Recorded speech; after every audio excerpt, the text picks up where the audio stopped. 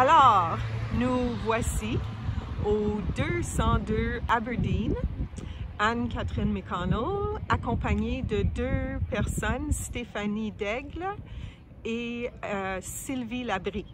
Euh, nous allons découvrir bientôt qui sont ces deux personnes. Alors, entrons voir la Casa Montessori euh, pour les enfants de 3 à 6 ans. Alors, allons voir.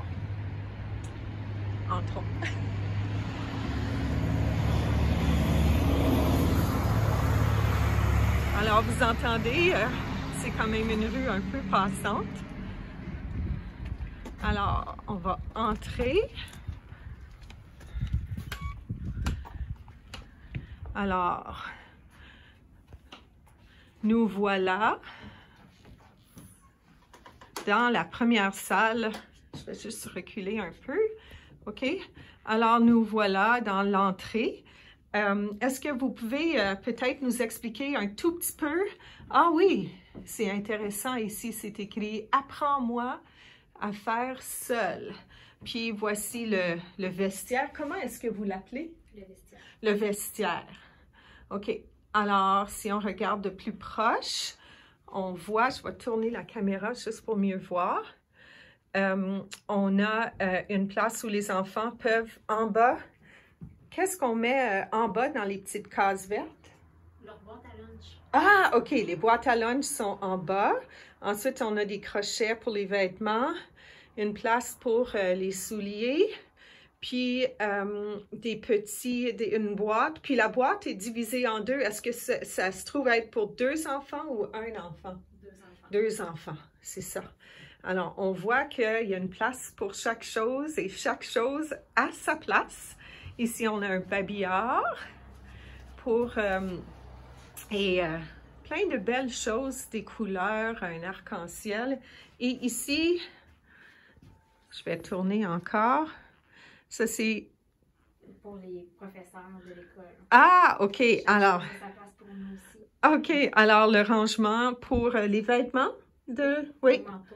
les manteaux de, des, des, des, monitrices ou des enseignantes ou des, des personnes qui travaillent avec les enfants de 3 à 6 ans à la Casa Montessori. Alors, allons voir, faire un petit tour. Alors, ici, on voit un cercle sur le plancher. Je vais juste essayer de reculer. Puis, là, on voit la rue et on voit une carte géographique. Et du matériel, la cuisine.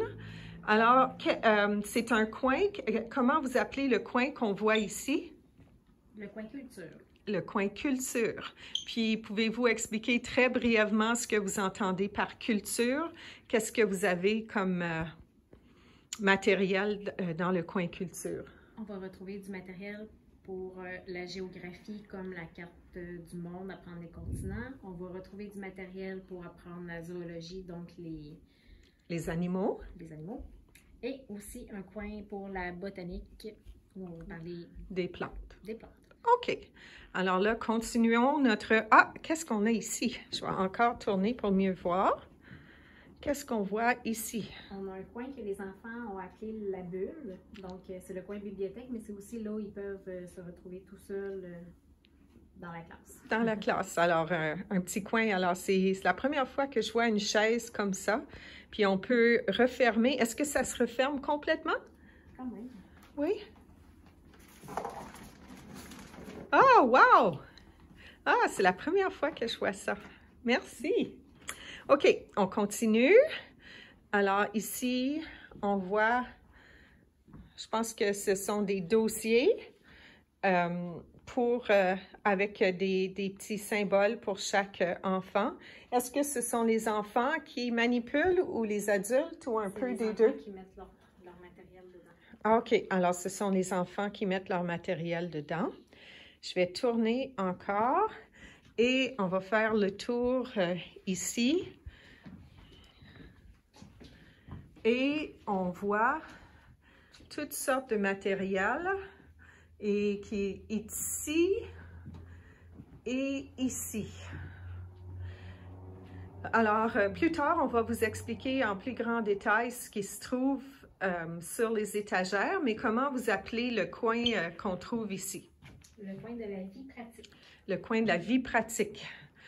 Alors, euh, pouvez-vous m'expliquer vraiment brièvement ce que vous entendez par vie pratique? C'est là où l'enfant va apprendre son autonomie, ses habiletés motrices, sa concentration, ses séquences. OK. OK. Puis, ce que je, euh, je pense que, est-ce que c'est le premier coin qu'ils vont euh, visiter en arrivant euh, tout jeune, souvent? Souvent. C'est quand même le cœur de la classe Montessori.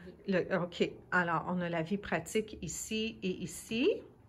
Ensuite, ici, sur l'étagère, ici, on voit d'autres matériels, mais c'est plus fait en bois dans des boîtes, mais ça ressemble moins à ce qu'on trouverait à la maison. Si on retourne voir le matériel ici, ce sont toutes des choses qu'on pourrait retrouver dans une maison. Mais ici, c'est un peu différent. Alors, comment vous appelez le matériel dans ce coin-là? Le coin sensoriel. Alors, sensoriel comme sens, c'est ça? Oui. Alors, c'est pour euh, de différents matériels pour stimuler tous les sens, finalement? OK, merci. Ensuite, on va continuer un peu encore. Et regardez ici. Là, on a des formes, plein de petites boîtes et des lettres. Alors, comment vous appelez euh, ce coin-ci? Le coin langage. Ah, OK, le coin langage pour travailler le, le français dans notre cas. Oui. OK. Puis, vous avez même des lettres pour les jeunes enfants. Intéressant. OK. Puis ensuite, si on regarde un peu plus, ici, je vois que vous avez d'autres euh, matériels. Alors, euh, qu'est-ce que vous travaillez dans ce coin ici? Les mathématiques. Ah, OK, les mathématiques. Alors, d'abord, pour compter de 1 jusqu'à 10, je remarque. Puis ensuite, vous pouvez même aller euh, plus loin parce que je vois des chaînes. Et puis ici, ah oui, ici on a euh, même des fractions, alors euh, plusieurs activités. OK. Là, je vois juste, on va regarder en général, on voit des tables qui sont ici, puis on va regarder les murs. Alors, je remarque que les murs ne ressemblent pas nécessairement à ce qu'on verrait Peut-être qu'on va prendre ce mur-là pour voir. Ça ne ressemble pas nécessairement à ce qu'on verrait euh, des fois dans une classe de une garderie ou dans une classe de maternelle. Pouvez-vous nous expliquer pourquoi vous avez euh, choisi d'avoir euh, une, des murs peut-être qu'on pourrait dire épurés un peu, puis avec des boîtes, ça, m'intrigue, ça m'intéresse murs épurés, dans le fond, c'est que je veux que les enfants soient attirés par ce y a sur les tablettes et non a sur les murs. Et j'ai choisi de mettre des boîtes pour changer la décoration selon les thèmes et les fêtes dans l'année. Donc, mes boîtes vont changer l'atmosphère de la classe, plus besoin de coller les choses avec du papier collant sur le mur. C'est une idée fantastique. Je vais vraiment m'en souvenir. Euh, merci pour cette très bonne idée.